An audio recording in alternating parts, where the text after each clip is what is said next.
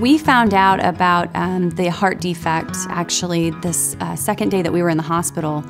The pediatrician went on to explain that Carter actually had two holes in his heart, one in the upper chamber and one in the lower chamber. Which meant that he was having overcirculation in his uh, pulmonary arteries, and that results in poor growth.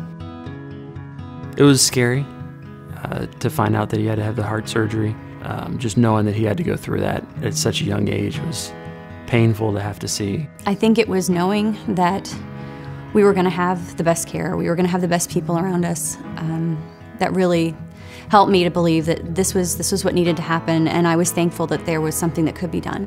When I operate on a child, I tell the family that this is your child, but in a few moments it will be my child, and I will take care of this child like it is my own. The moment that we got upstairs and I realized the walk was over and I was to have to hand him off, I wanted to run.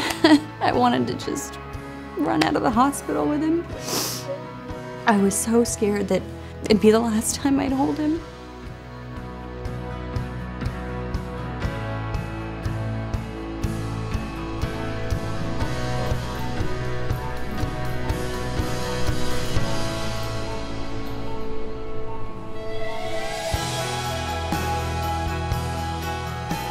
Looking back now at pictures of him uh, before he had the surgery and now, I realized that in my mind, I didn't see him as sick.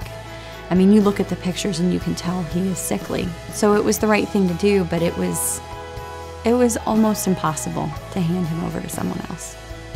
His prognosis is great. He'll have to, you know, go through maybe some other surgeries, but after really researching, after really looking at all those other options and hearing what other parents sometimes experience, you realize that, you know, these things are minor.